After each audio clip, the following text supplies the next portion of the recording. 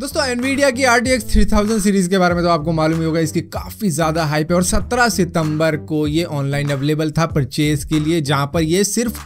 कुछ मिनटों में ही, मात्र तीन मिनट के अंदर ये साफ़ कर दिए गए थे। दरअसल यहाँ पर कहा जा रहा है कि बॉट्स लगाए गए थे इन सभी कार्ड्स को परचेज करने के लिए, जहाँ पर इक्का दुक्का यूज़र को ये मिला होगा, बाकी सारे ब्लैक करने वालों ने परचेज कर लिए थे ये कार्ड जहाँ पर इनको जब ईबे पे बेचा जा रहा था तो ईबे पे एक जगह तो ये भी देखा गया कि ये सत्तर हज़ार यूएस डॉलर के अंदर भी बिक रहे थे, जहाँ पर एनवीडिया ने माफ़ी मांगी है इस तरीके के लॉन्च के लिए कि ये गलती हो गई। यहाँ पर अब हमें अगली बार से रिव्यू करना होगा ताकि इस तरीके के ब्लैक करने वालों के हाथ में एक भी कार्ड ना पहुँच पाए। तो अब वो मैन्युअली रिव्यू करेंगे कि कौन परचेज कर रहा है और किसको दिया जाना चाहिए और कौन बॉट यूज़ कर रहा है। क्योंकि फ्लैश सेल में अक्सर यही होता है कि कुछ सेकेंडों में ही वो प्रोडक्ट गायब हो जाता है और आप क्लिक करते रह जाते हो कि यार प्रोडक्ट गया तो गया कहाँ? मैं तो बिल्कुल तैयार था उसको खरीदने के लिए, लेकिन ये ब्लैक करने वाले लोग फट से खरीद लेते हैं कुछ ही सेकंड में, जिसके बाद में ये ओवर प्राइस करके उसको बेचा करते हैं। लेकिन यहाँ पर कई सारे एंग्री कंज्यूमर थे जिन्होंने बॉट तैयार कर दिए बिड लगाने वाले। आपने देखा होगा, सत्तर हज़ार यूएस डॉलर की जो बिड लगी थी, दरअसल वो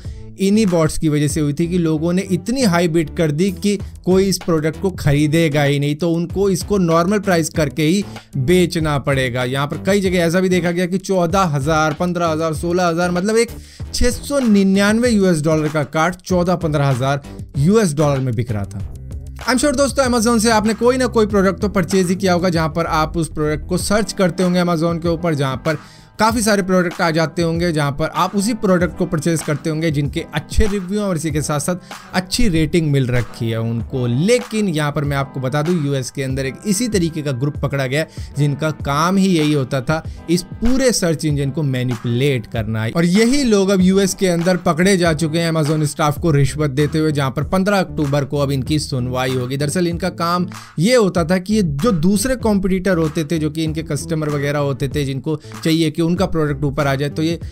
उनके रिव्यू तो अच्छे डलवा देते थे और उनके कंपटीटर के रिव्यू नेगेटिव डलवा देते थे। तो इस तरीके से काम चलता था, जहाँ पर जिनके रिव्यू अच्छे हैं, उनका प्रोडक्ट ऊपर चला जाता था और उनकी बिक्री ज़्यादा होती थी। तो इस तरीके से ये चीज़ों को प्रमोट किया करते थे, जहाँ पर ये पकड़े जा चुके हैं और अब इन पर केस चलेगा। दोस्तों कोरोना वायरस के शुरुआती दिनों में आपने एक चीज़ देखी होगी कि फेस मास्क मार्केट से एकदम से ही गायब हो गए थे, जहाँ पर फिर बाद में कई तरीके की कंपनी आ गई थी जो कि मतलब कंप्यूटर के कंपोनेंट बनाती थी, वो भी फेस मास्क बनाने लग गए थे इस पेंडेमिक से लड़ने के लिए, क्योंकि डॉक्टरों तक के पास में फेस मास्क नहीं थे पहनने के लिए, वो भी धो धो के पहना करते थे। लेकिन अब वो सिचुएशन नहीं है तो अब जाके आप देखते होंगे नए नए तरीके के फेस मास्क मार्केट में आ रहे हैं। लेकिन यहाँ पर एक माइक्रो क्लाइमेट नाम की एक कंपनी है, जिन्होंने एक ऐसा एयर विजन हेलमेट तैयार कर दिया जिसका नाम उन्होंने रखा है आर्कलिक हेलमेट जिसके अंदर हैपा फ़िल्टर भी मौजूद है, जो कि कहा जाता है high efficiency particulate air filter जो कि काफ़ी ज़्यादा अच्छा होता है इस तरीके की चीज़ों के लिए। और इसी के साथ साथ इसमें लगी जो आगे की फेस शील्ड है, वो आपको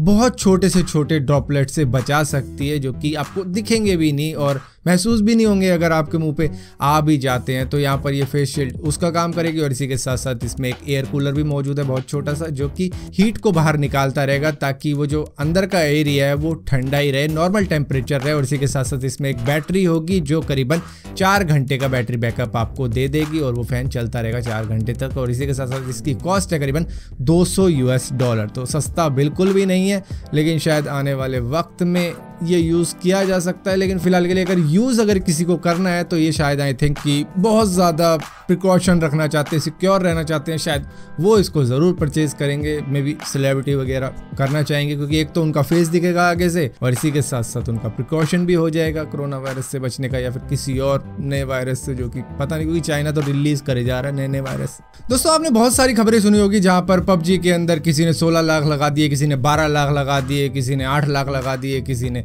11 लाख लगा दिए। इस तरीके की न्यूज़ आपने बहुत सारी सुनी होंगी, जहाँ पर अपने माँ बाप के कार्ड को ही यूज़ किया गया, किसी ने अपने दादा के कार्ड को यूज़ कर लिया और उनका पेंशन खत्म कर दिया। तो इस तरीके की न्यूज़ तो बहुत सारी सुनी होंगी। अब एक और नई न्यूज़ आ रही है इसी तरीके की, जहाँ पर ऑनलाइन गेम गेम का नाम सामने नहीं आया, लेकिन तमिलनाडु के एक बारह साल के लड़के ने अपनी मदर के अकाउंट में से करीबन नब्बे हज़ार ऑनलाइन गेमिंग में ही लगा दिए कुछ ना कुछ चीज़ें परचेज करने के लिए, जहाँ पर उसकी मदर के अकाउंट में थे करीबन नाइन्टी सेवन थाउज़ेंड रुपीज़ जहाँ पर उसने नाइन्टी थाउज़ेंड निकाल के डाल दिए इन्हीं गेमों में। जिसके बाद में उसके फादर ने उसको एक एक अजीब तरीके की पनिशमेंट दी है जहाँ पर उसको कहा है कि एक से लेकर अब तू नब्बे हज़ार तक गिनती लिख बैठकर जहाँ पर उसे पाँच दिन तो हो गए हैं और अभी तक वो शायद पैंतीस सौ पे ही पहुँचा है तो अभी रास्ता बहुत लंबा है मेरे ख्याल से अगले साल तक पहुँच जाएगा वो नब्बे हज़ार तक। सो so, फ़िलहाल के लिए दोस्तों इस वीडियो के अंदर इतनी अपडेट्स से अगर वीडियो आपको पसंद आती है तो इस वीडियो को लाइक ज़रूर करना शेयर ज़रूर करना और इसी तरीके की और भी वीडियो देखने के लिए इस चैनल को सब्सक्राइब ज़रूर करना और सब्सक्राइब किया तो बेल का आइकन ज़रूर दबाना वरना आपको मालूम नहीं चलेगा मेरे को वीडियो डाली भी है।